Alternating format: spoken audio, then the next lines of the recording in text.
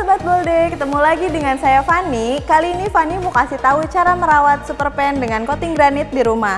Pasti pada penasaran kan caranya gimana? Yuk kita simak. Yang pertama, hindari penggunaan spatula yang terbuat dari bahan logam agar super pen tidak mudah tergores.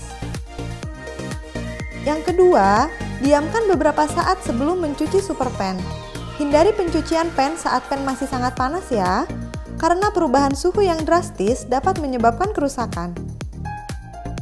Yang ketiga, gunakan busa lembut untuk mencuci super pen.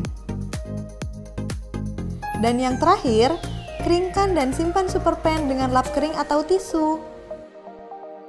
Dan simpan pen dengan cara digantung agar super pen tidak tergores atau menumpuk dengan barang lain. Gimana Sobat Bolde? Mudah kan cara merawat super pennya?